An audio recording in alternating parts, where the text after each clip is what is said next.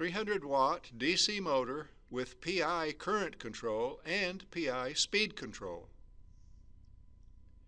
There's the motor.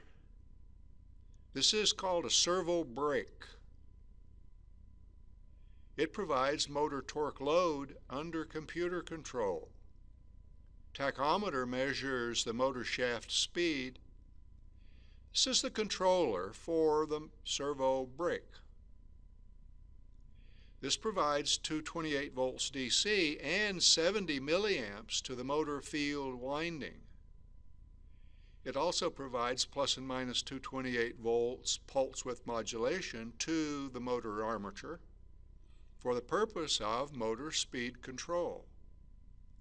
This is the three-phase power source, 92 volts RMS at each leg with respect to ground. This ammeter indicates the motor armature current. This is another view of the motor, servo brake, and the tachometer. There's the 92 volt three-phase source rectified to 228 volts DC. The IGBTs provide pulse width modulation through this H bridge. USB cables connected to the computer which controls the IGBTs. The ammeter measures the armature current another view of all three panels. This panel can control the servo brake manually or by computer through the USB cable. This protects the motor in case it overheats. Here's another view of the entire system. The oscilloscope shows the tachometer signal this block diagram shows the control system. That's the armature current driving the motor. That's the current sensor and the motor speed signal. The speed sensor or tachometer, that's the speed error signal, and the armature current error signal. When these two error signals are zero, the motor will have the desired current and speed which is the purpose of this feedback control system.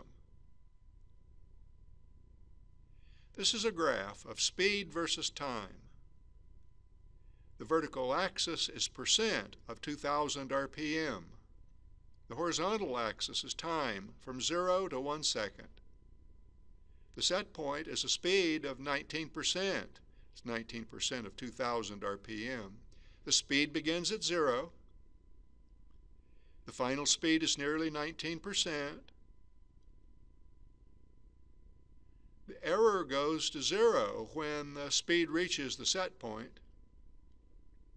The settling time is about 200 milliseconds with the servo brake removed.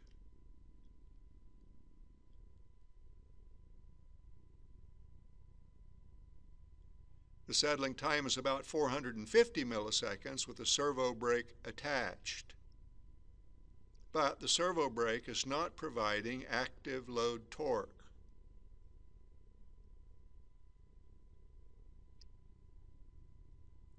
Now the servo brake is applying a ramp up and a ramp down load torque.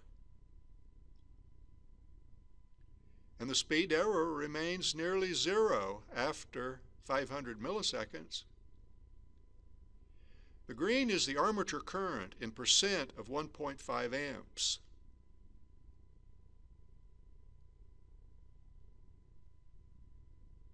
Now the load torque changes abruptly between 0.4 newton meters and 0.6 newton meters. And the speed error remains nearly zero,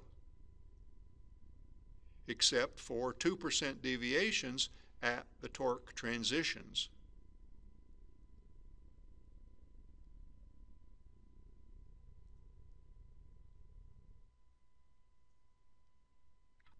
This is open loop. There's no feedback.